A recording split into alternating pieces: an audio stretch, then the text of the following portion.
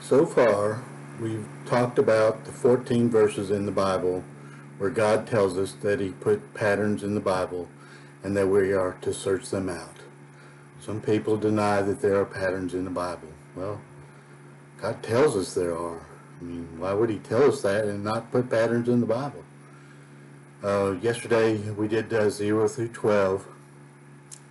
Today we're going to do 13 through 20. Now I'm going to read them from main.php, which is actually the, the original uh, landing page, and it was numbered a little bit differently. It's 18 through 25 on this page. Let me just read these eight, and they're all directly related. The Hebrew numeric value of the first and last letters of the first half of the verse are evenly divided by 7, 42. The Hebrew numeric value of the first and last letters of the last half of the verse is 91. The Hebrew numeric value of the first, middle, and last letters of the verse covered by 18 and 19 is 133, again divisible by 7. The Hebrew numeric value of the first letters of the first and last words is 7. The Hebrew numeric value of the last letters of the first and last words is 490 the Hebrew numeric value of the first and last letters of the first and last words covered by the previous two is 497.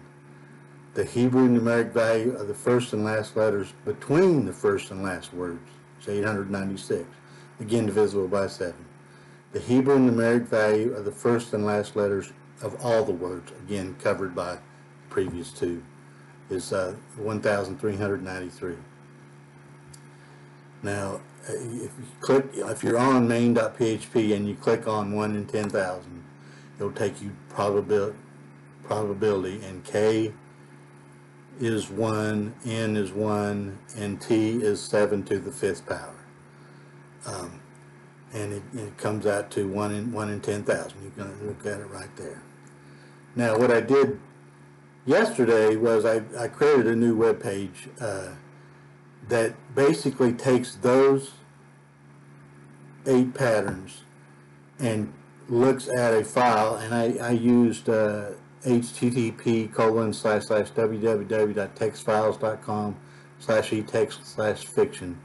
It just lists a lot of old old books. So it's just a place to get a lot of the words. And I plugged that into the, the software that I supply on what I'm, will soon be 20.php, um, makeful.java creates a large file out of that URL and its links. And 8.java creates the sentences that match the eight patterns or uh, what on the main landing page is 13 through 20. And you will see there on 20.php, uh, it lists all the words that meet those eight patterns. There are found uh, 141 out of 20,163,329 sentences. And all it does is it just, it takes every word and goes seven forward. So it's, it's, it's not really taking real sentences. They're pseudo sentences. But it's just an easy way to generate seven word pseudo sentences. And that's how many are found in, in that file I gave you, the URL I gave you.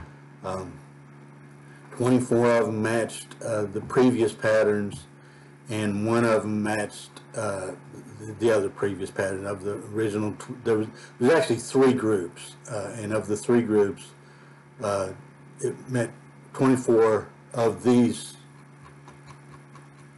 24 of these 141 met the, the second group, and only one met all three groups uh, in the in the in the and I'll just read it. Johnny swore a deep oath by this.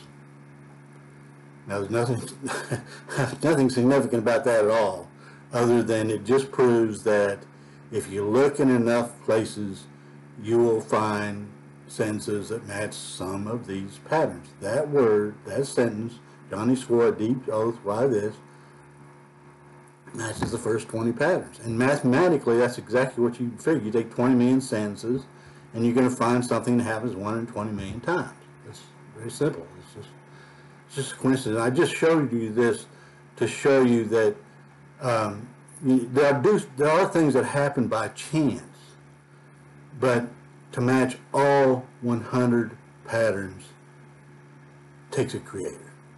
Okay, you're not going to do that by chance, but just do the And I supply this software, so you, you can look in any URL you want, and it'll go to all every link and create a big file, and you, you can see how many uh, match all first 20. You just you- you'll be able to find more if you get enough enough URLs.